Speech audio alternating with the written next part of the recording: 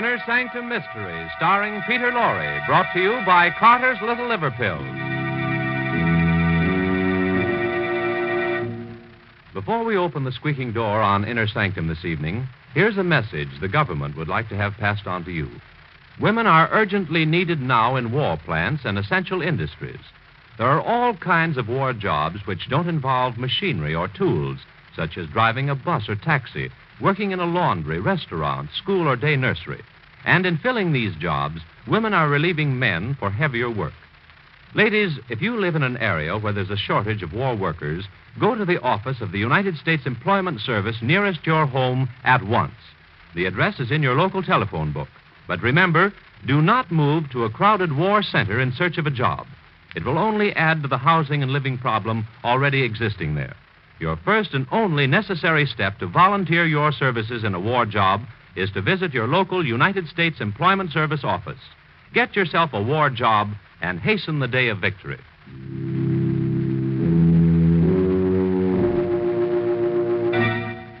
And now we open the squeaking door.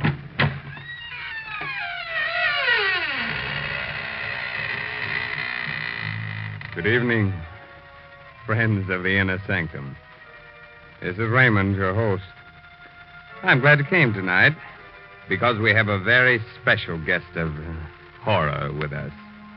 I'd like you to meet the late Johnny Gravestone, the most celebrated member of the Inner Sanctum Ghost Society. He is the best haunter of them all. Johnny is the tall figure in the white sheet wearing the blue ribbon. He's haunted everything, from a palace to a telephone booth. And uh, if you're very nice to him, he'll be glad to consider giving your house the once over. Who knows? He may even haunt you.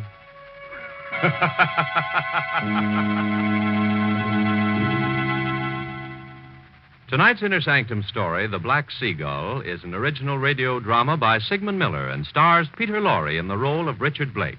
It's produced under the direction of Himan Brown.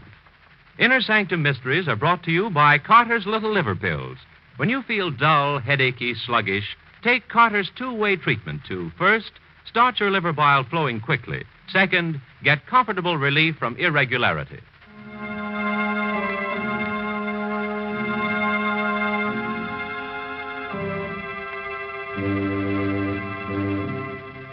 Well, we're about to begin our story. Oh, uh, I forgot to warn you about the uh, tremblins. They're those pesky, invisible cousins of the gremlins.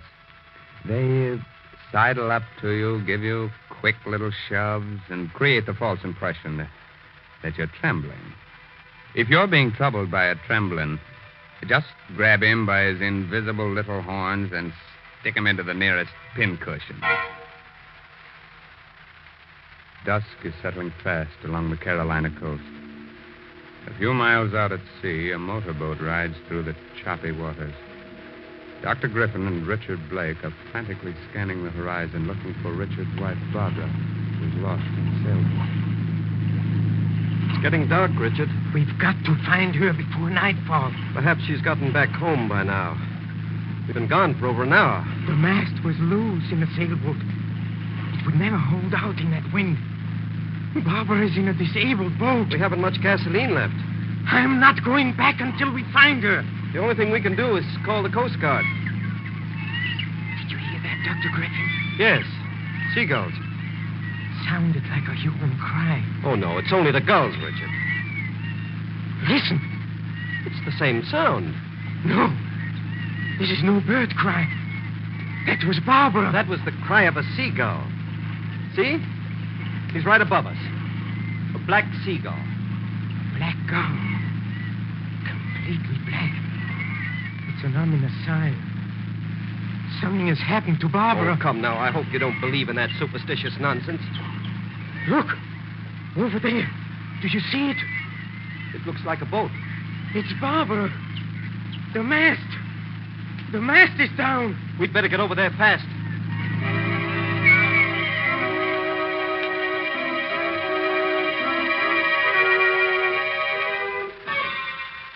Here. Help me put her on the couch. Dr. Griffin, please, you, you've got to do something. I'll do everything I can. The Pretty mast- bad. Concussion. The mast. It must have come loose and struck her. Please, please, Dr. Griffin, you've got to bring her back. She may come to any second. Or she may never come out of it. No, no, no. It isn't true. I wish it weren't. Her skull is crushed. The injury is a fatal one. No, no. It's only a surface wound. Perhaps an operation. We can get her to a hospital. Look. Look, she's coming too. Please, Richard. There isn't a chance. Ri- Richard. Yes, darling. Oh, it, it wasn't my fault. The mast, it, it broke in the wind. Don't talk, my darling. I'm, I'm so sorry, Richard. Don't be unhappy. You're going to be all right. Dr. Griffin says you're going to recover. No, You've got to hold on, darling. We'll get you to a hospital. you, you've been so good to me, darling. We've been very happy together. You can't leave me, Barbara. I won't live without you. Oh, you, you mustn't say that. If you die, Barbara, I don't want to live. I'll always be near you. I'll come back if it's possible. You must. You must come back. You must. If you don't, I'll come to you. No. No, I'll return, Richard. I'll return.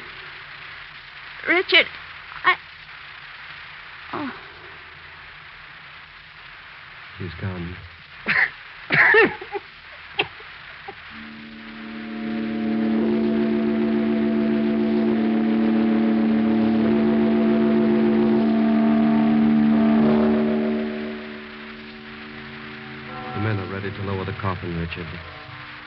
you wish to pay your final respects. Final respects. This isn't the end. It's the beginning. Do you understand? The beginning. Barbara isn't gone. She'll come back. She said so. No, Richard. No one comes back from the grave. It's dangerous to believe that. Dangerous for your sanity. She'll come back. She didn't lie. All right, men. Lower the body. Did you hear that? Yes. The seagulls again. That wasn't a seagull. I told you. That was Barbara's voice. Please, Richard. It's only a gull. No, it's her. She's calling to me. She promised to return. You see, Barbara didn't fail me. You must stop this, Richard. You'll wind up in an asylum. You're a fool, Dr. Griffin. Lower the that coffin, was men. her voice. No, no, no. Don't lower it. That sound came from the coffin. She might even be alive. She's dead, Richard. I want that coffin opened. We can't do that, Richard. There's no way of opening it now. We'll pry it open. Don't try to stop me, Dr. Griffin. All right. We'll open it. Here, one of you men. Break the seals at the top of the coffin. Heaven's sakes, hurry, hurry, It will hurry. only be worse for you, Richard, if you look at poor Barbara again. Will you tell the man to hurry?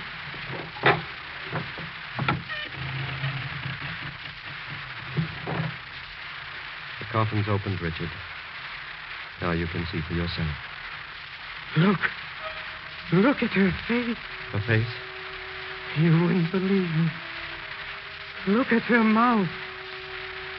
As if she had just called my name.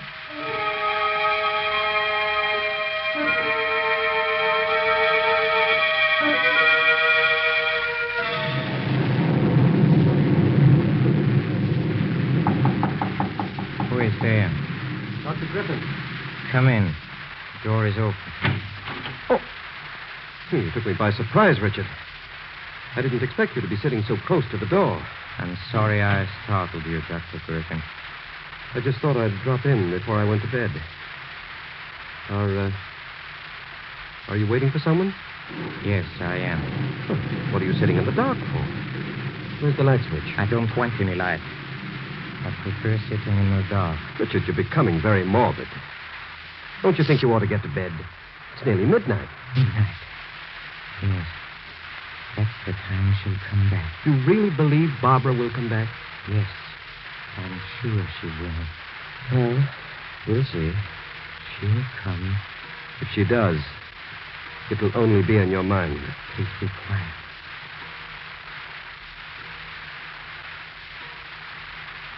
Well?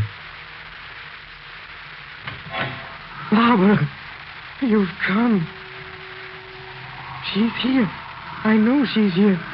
Oh, darling, you've kept your promise. Richard, stop it.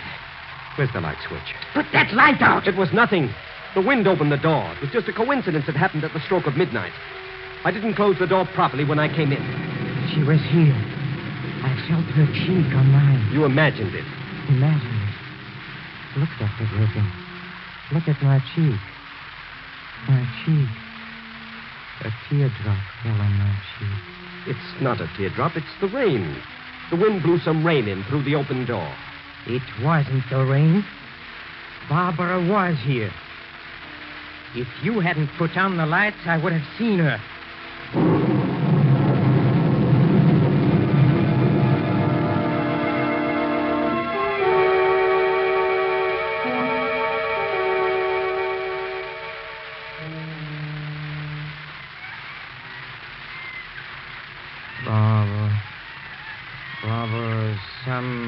People do come back from the grave.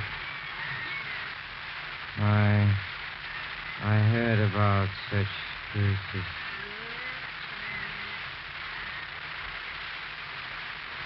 Richard. Barbara. It's you. Yes, It's darling. you. It's me. I promise never to leave you. I. I was about to give up. I was beginning to lose hope. How good it is to see you again. Yes, darling. It's very good. I've been trying to come back. Then it was you who opened the door at midnight. Yes, Richard. And it was your tears that fell on my cheek. Wasn't the rain, as Dr. Griffin said? Yes, Richard. Uh, I couldn't see you then. I, I just felt your cheek against mine. It was very hard to return at all. What is that noise? I don't hear anything, Richard. That, that sound disturbs me. It makes me uneasy. You're asleep. Fast asleep. Perhaps the sound will fade away. Look at me, Richard. I can see you much more clearly. And the sound, It's fading out. perhaps we'll never be separated again. So good to be with you again. Let me hold your hand. Wait, Why, why do you say that? It's not yet time. What do you mean? You haven't crossed over yet. Can you still hear the banging? Oh, just a little. Barbara, don't go away. I can't help it. Someone's dragging you away. Don't let him. I don't want to go back. I'll try to come back again, Richard. I don't want to go back. I want to stay with you. Goodbye, Richard. Richard. Richard. Richard. Richard. Richard. Richard. Wake up. Wake up. Good thing I heard the shutters banging. I came in to see what was making all this noise. You. You shouldn't have wakened me. This box of pills. You took an overdose of these sleeping tablets. If I hadn't awakened you, you would have slept on until eternity. Barbara came for me. She was just about to take my hand. Perhaps if she had, you'd never have gotten up. I didn't want to get up. I wanted to be with Barbara forever.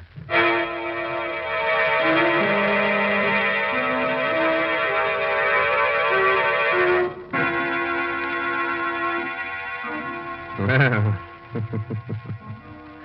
Dr. Griffin should be awarded the Order of the Inner Sanctum for saving the life of Richard Blake. If it weren't for the good man, our story would have come to an end in the middle of the program. And that would have been very inconvenient for all of us. As a reward, perhaps we'll just uh, wound Dr. Griffin a little bit instead of polishing him off. Hmm? But until we make up our minds, here's a gentleman with an important message for you. To keep you feeling on top of the world, medical knowledge proves that nature should produce about two pints of liver bile, the vital digestive juice your liver makes, each day. Otherwise, your food may not digest properly and leave you feeling dull, headachy, sluggish. Scientific facts show it takes a two way treatment to get the vital digestive juice flowing quickly and to relieve sluggishness without disturbing digestion. Therefore, do as thousands now do take Carter's Little Liver Pills. First, because Carter's start the vital digestive juice flowing, usually within 30 minutes. Second, because Carter's gently help you to that glorious feeling that goes with regularity. Remember, many ordinary simple laxatives don't, but Carter's Little Liver Pills do give this two way treatment. So take genuine Carter's Little Liver Pills as directed tonight. Tomorrow, see if you don't wake up feeling glad to be alive. Get Carter's at any drugstore. 25 cents.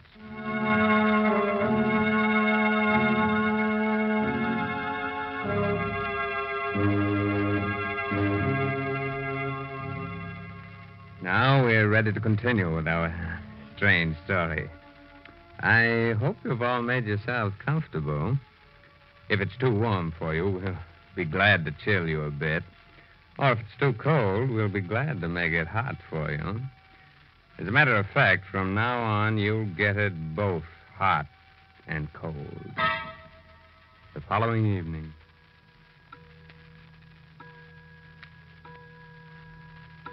Barbara, you must come back to me.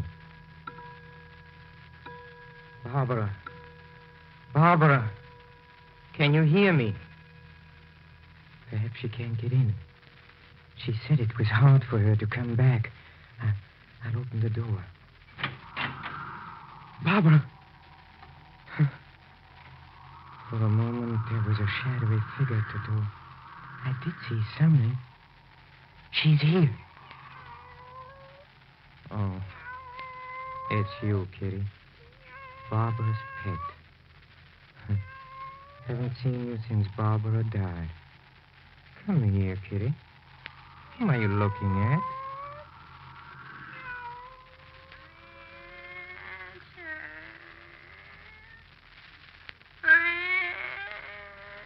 Barbara, Richard, where are you? right here. Your your voice is so faint. Come closer. Come closer. I I don't know where you are. The closet where I used to keep my clothes. Darling, I still can't see you. This blue taffeta dress. My favorite. I used to love the rustling sound it made when I walked.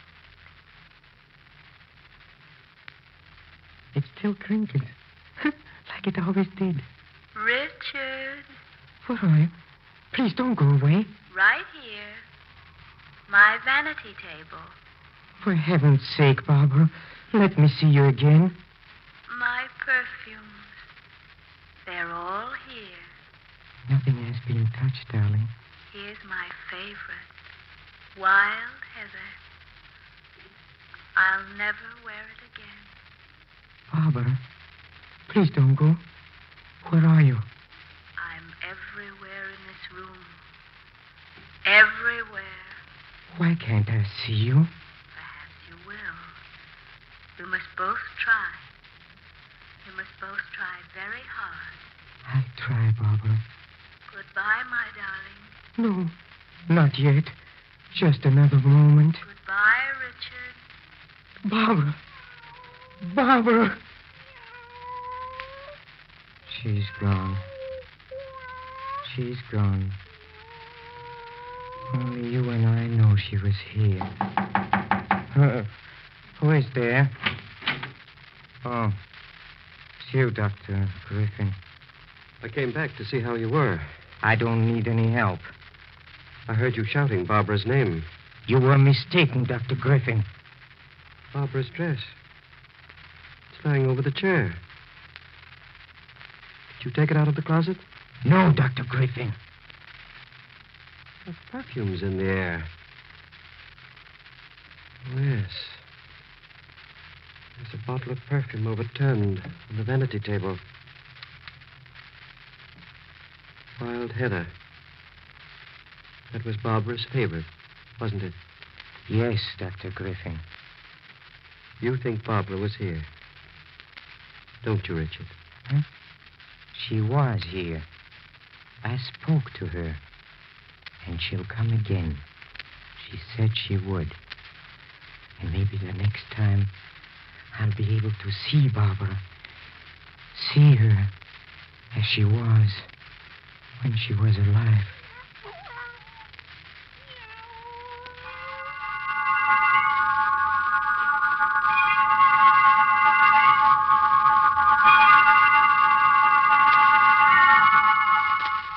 You don't want visitors, Richard, but you shouldn't be alone. I brought Miss Driscoll with me to look after you. How do you do, Mr. Blake? Barbara will be here soon. You haven't been eating. You've lost a lot of weight. Richard, Yes, Dr. Griffin? you've got to listen to me. There's nothing you can tell me. You won't last at this rate. Look at you. Pale and lifeless. You're still alive, but you're living among the dead. Well, you've got to stop this. If you don't, you'll wind up in an asylum. An asylum. You still don't believe Barbara had come back. No, Richard. She hasn't come back.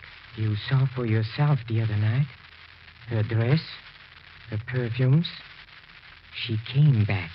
I spoke to her. You took the dress out of the closet yourself, and it was you who overturned the bottle of perfume. You are lying, Dr. Griffin. It wasn't me. You're trying to come between us.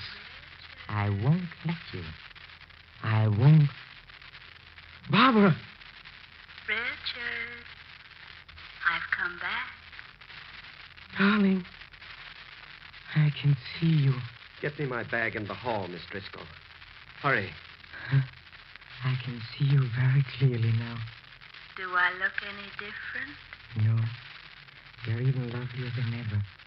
Richard. We've got to meet each other halfway. Yes, darling. I've been trying. I tried very hard. I've brought some friends. They all want to meet you. Friends? Yes. This is Fred Rankin. You remember him. Hello, Fred. How do you do, Richard? I'm Fred Rankin. But you're. you're dead. Yes. I've been dead for six years. And this is Mr. Fielding. Remember him? He was your neighbor once, killed by an automobile. Yes. I've been dead for a long time. Ever since you were a young boy, Richard. And this is Mary Schofield, the girl you went to school with. Barbara. Barbara, watch out. The mast. It's falling. It's falling. Richard, help me. Help me. Help me. It's Barbara. It's Barbara. She's out there in a boat. The mast is gone. I've got to save her before it's too late. You're not going anywhere. There's no one calling you.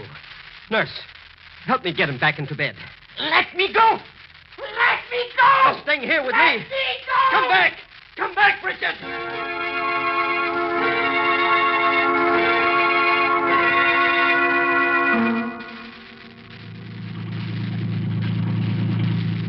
Well, he couldn't have swum very far in this short time, Dr. Griffin. I caught sight of him just a moment ago. Oh, oh, there he is. Yes, I see him. Yes, but he's going down. He's going down.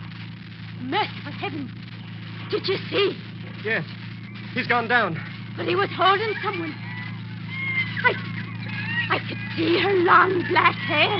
It's no use. We'll never. You say he was holding someone? Yes, it looked like a woman. She had long black hair. It must have been seaweed. You see things in this twilight that don't exist. Imagination is like fire. A good servant, but a bad master. I guess we had better get back.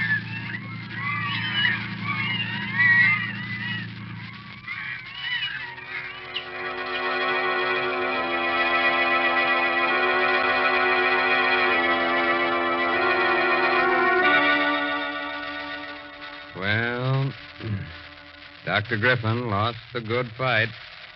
Mm-hmm. He was gull crazy.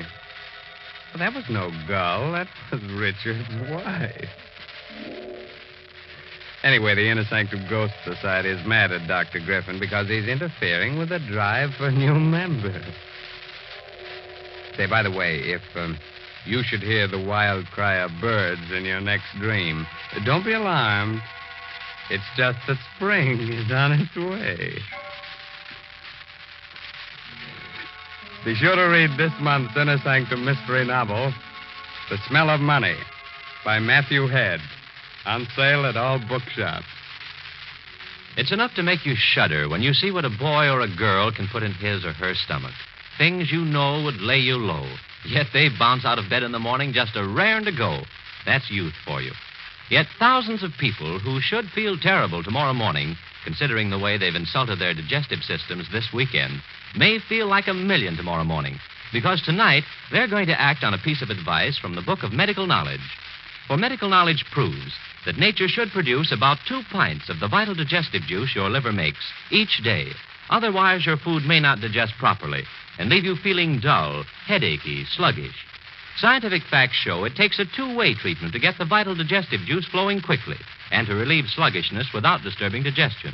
Therefore, do as thousands now do. Take Carter's Little Liver Pills to get this two way treatment you may need. First, Carter start the vital digestive juice flowing, usually within 30 minutes. Second, Carter's gently help you to that glorious feeling that goes with regularity. Remember, many ordinary simple laxatives don't, but Carter's Little Liver Pills do give this two way treatment. So take genuine Carter's Little Liver Pills as directed tonight. Tomorrow, see if you don't wake up feeling glad to be alive. Get Carter's at any drugstore. 25 cents.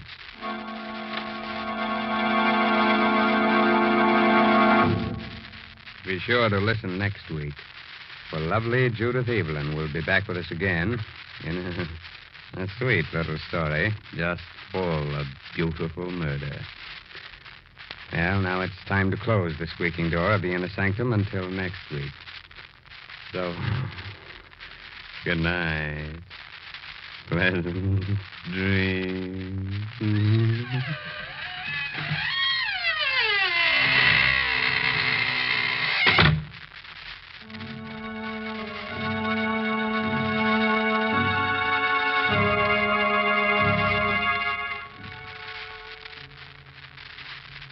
Inner Sanctum comes to you from New York.